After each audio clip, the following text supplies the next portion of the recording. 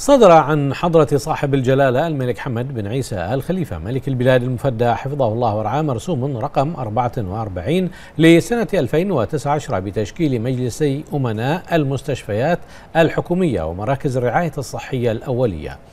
وجاء في المادة الأولى من المرسوم أنه يشكل مجلس أمناء المستشفيات الحكومية برئاسة الشيخ هشام بن عبد العزيز آل خليفة.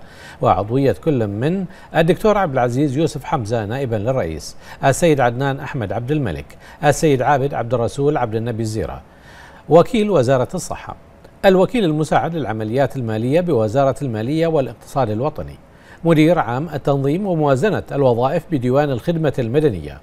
وجاء في المادة الثانية أنه يشكل مجلس أمناء مراكز الرعاية الصحية الأولية برئاسة الدكتور عبد الوهاب محمد عبد الوهاب وعضوية كل من الدكتور شوقي عبد الله أمين نائبا للرئيس السيد نواف فيصل الحمر السيد عبد العزيز عبد الله الأحمد وكيل وزارة الصحة الوكيل المساعد للعمليات المالية بوزارة المالية والاقتصاد الوطني مدير عام التنظيم وموازنة الوظائف بديوان الخدمة المدنية. وجاء في المادة الثالثة أنه تكون مدة العضوية في كل من المجلسين أربع سنوات قابلة للتجديد لمدة أخرى مماثلة.